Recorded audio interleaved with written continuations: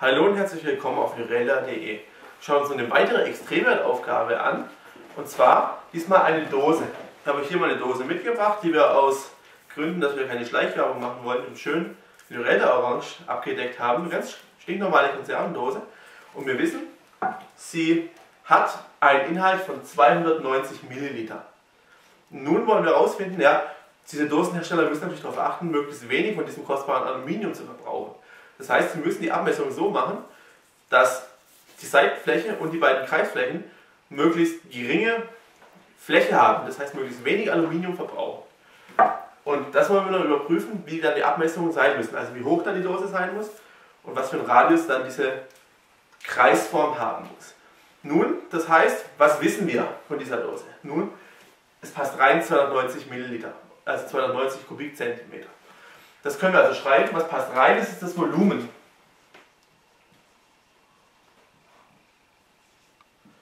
V ist also dann tatsächlich 290.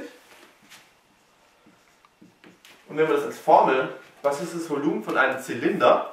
Nur das ist die Grundfläche, das ist dieser Kreis, das ist die Kreisfläche mal die Höhe. Grundfläche ist Pi r Quadrat, also der Kreis. Und dann mal die Höhe. Das müssen wir schon mal. Nun, ist uns die Frage jetzt erstmal, wie immer, was ist gegeben und was ist gesucht. Nun, was suchen wir? Die Fläche dieser Außenseite und dieser beiden Kreise. Das heißt, wir suchen exakt die Oberfläche von diesem Zylinder. Das heißt, Oberfläche O ist dann genau diese beiden Kreisflächen. Das heißt 2 mal Pi r Quadrat Und dann kommt noch diese Seitenfläche dazu.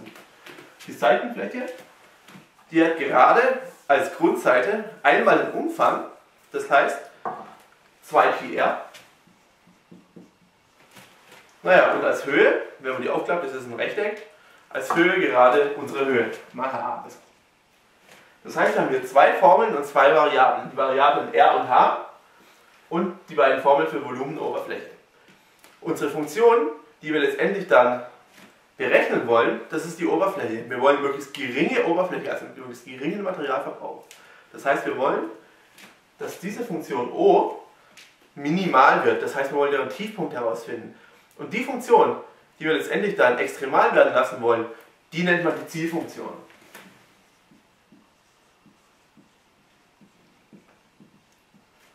Und immer wenn man noch eine zweite Funktion zusätzlich hat, ohne die es nicht funktioniert, weil wir haben hier R und H drin, das können wir nicht extremal werden lassen. Wir haben eine Variable zu viel. Um diese zu eliminieren, haben wir diese zweite Formel. Und diese zweite Formel, wenn man die als Hilfe benutzt, ist die sogenannte Nebenbedingung.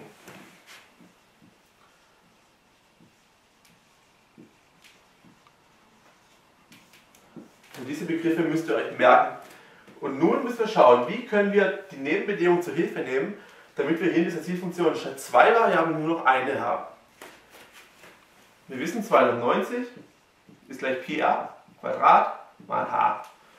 Nun, klassischerweise natürlich, versucht man eine Variable zu eliminieren, indem man nach einer Variable auflöst und dann die andere einsetzt, also das Einsetzungsverfahren verwendet. Hier bietet sich an, einfach durch PR Quadrat, dann habe ich H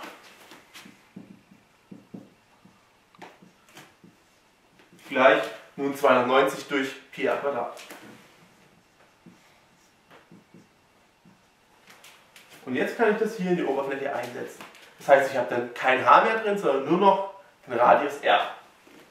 Das heißt, O von R wäre dann die Funktion. Das ist 2 pi r Quadrat, da ändert sich gar nichts. Und dann hier 2 pi r mal 290 durch pi Quadrat, weil das gerade H ist. Also 290 durch pi Quadrat. Da geht einiges raus, das Pi geht raus, ein r kürzt sich hier mit dem. Das heißt, übrig bleibt 2pi r Quadrat plus nun 2 mal 290, das sind 580. Hier steht nichts mehr, aber im Nenner steht noch ein r. Das heißt 580 durch r. Das ist also unsere Zielfunktion. Und nun müssen wir herausfinden, wo hat diese Funktion einen Tiefpunkt. Das können wir tun, indem wir diese Funktion ableiten. Dafür bietet sich noch alles ein bisschen zu vereinfachen. 2pi r Quadrat plus 580 r hoch minus 1, damit wir die Potenzregel anwenden können. Also O' von r. 2pi r Quadrat, das, r, das Quadrat kommt nach vorne, also 4pi r. Und jetzt hier 580 r hoch minus 1, das minus 1 kommt nach vorne, das heißt hier minus 580 und nun, da wird es um 1 reduziert im Exponenten, das heißt r hoch minus 2. Das ist unsere Ableitung. Und die müssen wir nun gleich 0 setzen und auflösen. Wenn wir das machen, dann bekommen wir erstmal, nun wir haben hier r hoch minus 2 in r, damit können wir nicht viel machen. Das heißt, erstmal den Bruch eliminieren. Das heißt, ich multipliziere die ganze Gleichung mit r dass wir hier die r minus 2 wegbekommen. Das kann ich machen, wenn r ungleich 0 ist, geht es hier sowieso. Und naja, Radius 0, das ist kein Fall in unserem Beispiel. Das heißt, unsere neue Gleichung sieht so aus. 4 Pi r mal r ist r hoch 3. Und dann minus 580. r hoch minus 2 mal r hoch 2 ist, ist 1. Das heißt, das fällt weg. Gleich 0. Plus 580. Also steht da 4 Pi r hoch 3 gleich 580 teile ich durch 4pi. 580 durch 4pi, das ist 46,15.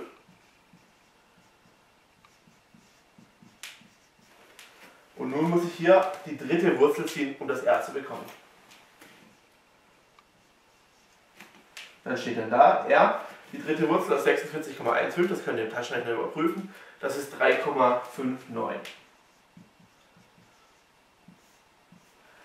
Wir wissen also, unser Kandidat ist gerade der Radius 3,59 cm. Das heißt, dass die Dose gerade einen Radius von 3,59 cm hätte. Um wirklich zu überprüfen, ob es auch wirklich das Minimum ist, benutzen wir unseren, unsere zweite Ableitung. Das heißt, wir müssen diese Funktion hier nochmal ableiten. Aus 4πr wird 4pi und dann hier minus 580 mal minus 2. Das wäre dann plus 1160. R hoch minus 3. Und jetzt setze ich ein die 3,59. Das heißt, O2' von 3,59. Da steht das da, 4pi, plus 1160 durch 3,59 hoch 3, das hatten wir vorher schon gehabt, das ist gerade 46,15. Na, wenn wir das ausrechnen, bekommen wir 37,7 insgesamt. Die Größe ist hier allerdings auch nicht so wichtig. Wichtig ist nur, dass es größer 0 ist. Denn dann wissen wir, es handelt sich tatsächlich um einen Tiefpunkt. Das heißt, wir haben unseren Radius, bei dem der Materialverbrauch minimal wird. Und jetzt können wir natürlich auch unsere Höhe ausrechnen. Das heißt, wir wollen natürlich auch noch wissen, wie hoch ist die Dose mit diesem optimalen Energieverbrauch. Das können wir tun, 290 durch Pi r Quadrat, also durch Pi mal 3,59 ins Quadrat. Und dann bekommen wir die Lösung 7,16. Und dann wissen wir, optimale Dose hat gerade einen Radius von 3,59 cm und eine Höhe von 7,16 cm. Nun, wenn wir diese Dose anschauen, haben wir den Eindruck, dass die Dose deutlich höher ist als 7,16 cm. Das hat, könnte mehrere Gründe haben. Zum einen befindet sich immer noch ein bisschen Hohlraum drin, hört man, da ist noch Luft drin. Zum anderen 290 Milliliter. Ich habe aus 290 Gramm einfach 290 Milliliter gemacht.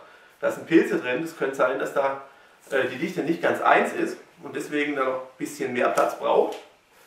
Es könnte aber auch sein, dass die Abmessungen so gewählt sind, dass diese Frontfläche mit Absicht größer gemacht wurde, obwohl dann der Verbrauch höher ist, dass man hier vorne schön das Produkt noch bewerben kann und dadurch natürlich besser sich verkaufen lässt. Auch das wäre eine Möglichkeit. In Ordnung, schaut doch mal auf der Homepage www.nurella.de vorbei, besucht uns bei Facebook. Dankeschön.